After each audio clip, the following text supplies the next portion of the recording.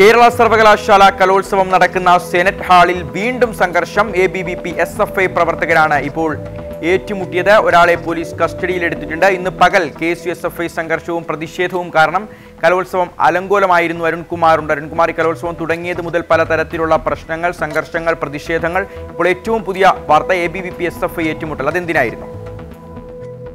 അരമണിക്കൂർ മുമ്പാണ് A B P പ്രവർത്തകരും എസ് ഐ പ്രവർത്തകരുടെ സെനറ്റ് ഹാളിന്റെ പരിസരത്ത് ഏറ്റുമുട്ടിയത്. എന്താണ് കാരണം എന്ന കാര്യം പോലീസോ വിദ്യാർത്ഥികളോ പറയുന്നില്ല. പക്ഷെ അവിടെ ഒരു ഏറ്റുമുട്ടലുണ്ടായി. ഇതുമായി ബന്ധപ്പെട്ട് ഒരാളെ ഇപ്പോൾ കന്റോൺമെന്റ് പോലീസ് കസ്റ്റഡി എടുത്തിട്ടുണ്ട്. എ ബി പി പ്രവർത്തകർ പ്രശ്നം ഉണ്ടാക്കുകയായിരുന്നു എന്നാണ് എസ് എഫ് ഐ പ്രവർത്തകർ പറയുന്നത്. ഇപ്പോൾ സ്ഥിതിഗതികൾ ശാന്തമാണ്. ഈ കലോത്സവം തുടങ്ങിയത് മുതൽ സംഘാടനത്തിലെ പിഴവും അതുപോലെ തന്നെ പല ആവശ്യമായുള്ള ഏറ്റുമുട്ടലുകൾ ഉണ്ടാവുകയാണ്.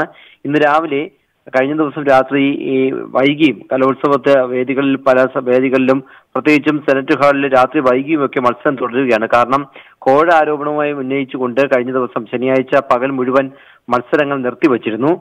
ആ നിർത്തിവെച്ച മത്സരങ്ങൾ തീരുന്നതിന് സമയം എടുക്കുകയാണ്. അതുകൊണ്ട് ഈ കലോത്സവത്തിന്റെ താള ഈ സമയക്രമം തന്നെ ആകെ തെറ്റിയിരിക്കുകയാണ്. നാളെ രാവിലെ നടക്കേണ്ടിരുന്ന സമാപന സമ്മേളനം പോലും നാളെ വൈകുന്നേരം മാത്രമേ നടക്കുകയുള്ളൂ എന്നാണ് ഇപ്പോൾ അറിയിച്ചിരിക്കുന്നത്. ഇപ്പോൾ രാത്രി വൈകിയും സെനറ്റ് ഹാളിൽ മത്സരങ്ങൾ തുടരുകയാണ്. ഇതിനിടയിലാണ് പലപ്പോഴായി ചെറുതും വലുതുമായുള്ള സംഘർഷങ്ങൾ അങ്ങും ഇങ്ങുമായി ഉണ്ടാകുന്നത്.